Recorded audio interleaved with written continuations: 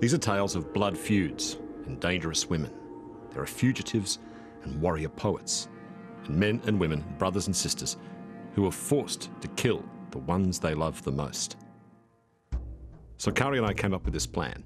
We would go to Iceland and we would tell the stories of four Viking men and women. And we'd do this in the locations where these stories actually happened.